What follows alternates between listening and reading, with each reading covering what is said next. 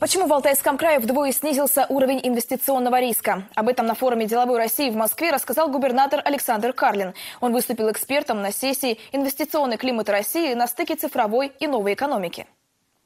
Общероссийская общественная организация «Деловая Россия» провела форум в преддверии Дня российского предпринимательства. Александр Карлин принял участие в обсуждении актуальных задач формирования в регионах инвестиционного климата и создания новых точек экономического роста. Алтайский край – яркий положительный пример.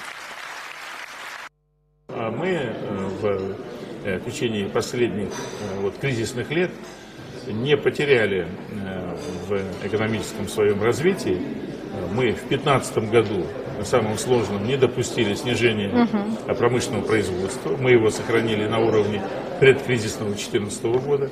В прошлом году индекс промышленности 0,7%, а в этом году поскольку тенденция к преодолению кризиса уже более четко обозначилась, то за 4 месяца ИПП э, составляет 108,7%. Вот Этими показателями случайно... можно гордиться, да.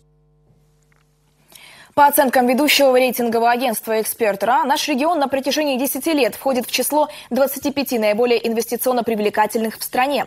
А уровень инвестиционного риска за это время снизился более чем в два раза – с 72 до 31 позиции. Глава региона Александр Карлин заверил экспертов форума, в этом году в Алтайском крае продолжают внедрять передовые практики агентства стратегических инициатив по продвижению новых проектов, в том числе направленных на совершенствование регионального инвестиционного законодательства и улучшение инвестклимата в муниципалитетах.